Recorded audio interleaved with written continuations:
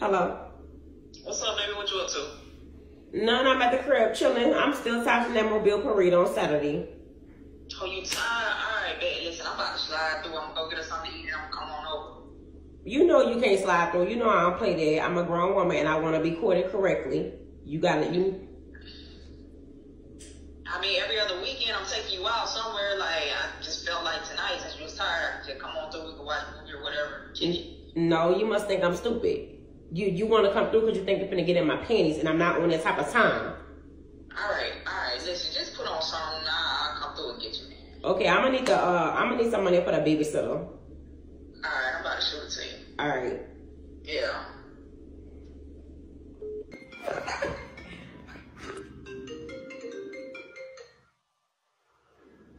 Hello. Say what's up with you, Hey man, what's up? You say? Look, I just touched down here in Hattiesburg, Georgia. I'm trying to come see you. What's happening? What time you trying to come? So I'm on the way right now.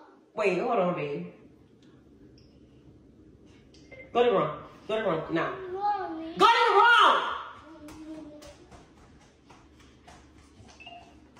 Um, my baby. But yeah, um, you can come. So what you, you cook something or, or what? I mean, what you? I mean, you want me to cook or you want me to order you something? I mean, you I don't want you to get in the kitchen like that. I, I miss you, know. So uh, go ahead and order some wings or something. Find us a movie. Okay, I got you, baby. All right, go ahead and get that thing ready for me. Okay,